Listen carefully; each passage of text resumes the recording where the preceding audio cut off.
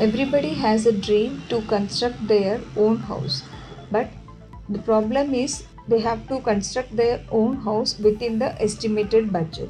The construction material cost and the labor cost are getting increasing day by day. So that create a question that whether we can construct the building within the estimated budget or not. To overcome these problems, there are many new materials available in the market which can be used to construct the building within the estimated budget. Hey friends, welcome back to Civil Engineering Mastery. In this video, we are going to discuss about one of the construction material that is interlocking brick. Let's look into the technical details and what are all the advantages and disadvantages we have in this interlocking brick. So without further delay, let's begin now. As the name suggests, the interlocks bricks are connected with each other. It has the provision to connect the one brick to the other brick.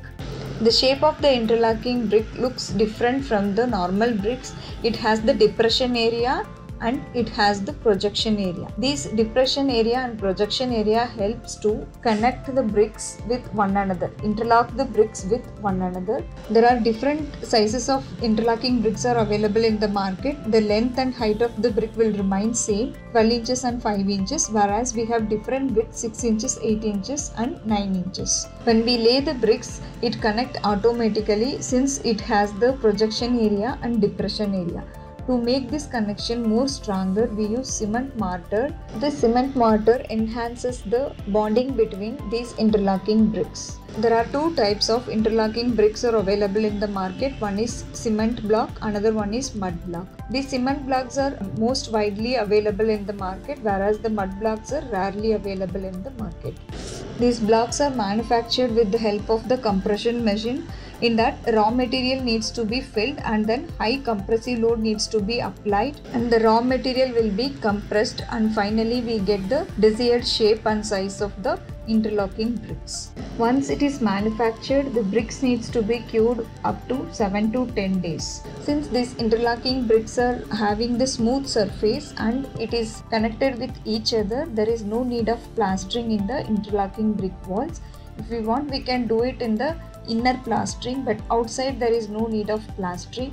When you use mud interlocking blocks, the heat will be reduced inside the building when compared to the normal brick. This mud interlocking bricks has the capacity to reduce the heat inside the house. We can save construction time if we use these interlocking bricks.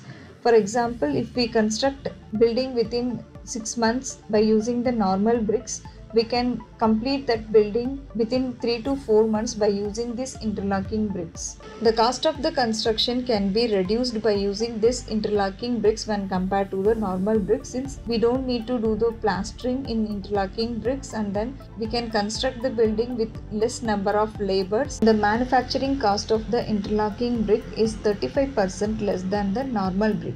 So these all together can save the construction cost of the building. In addition to this, these interlocking bricks are used in the earthquake resistant structures.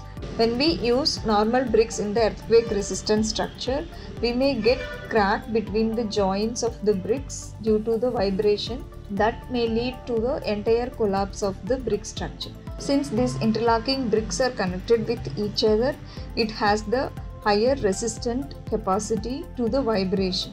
These interlocking bricks are environmental friendly and eco-friendly since it reduces the heat inside the building and also the concrete and mortar which are used to make these kind of interlocking buildings are very less so it is eco-friendly and also environmental friendly.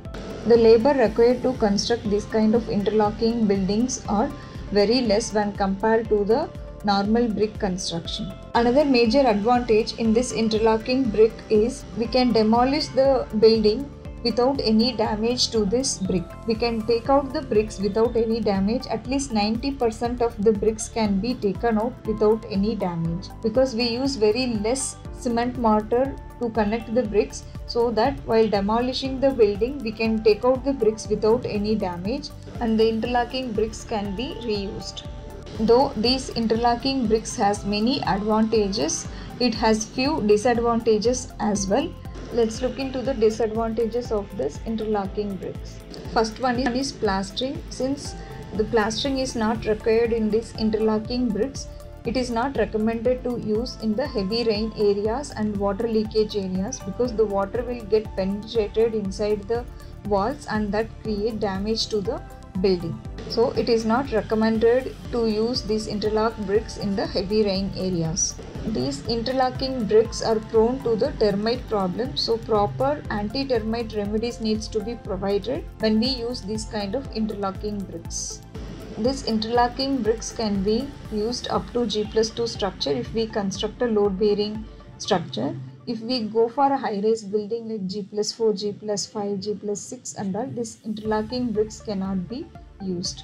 Another major disadvantage in this interlocking brick is we need to plan the door position, window position, electrical and plumbing lines prior to the construction. Once the building is constructed, we cannot make the any alterations easily as we do in the normal brick construction.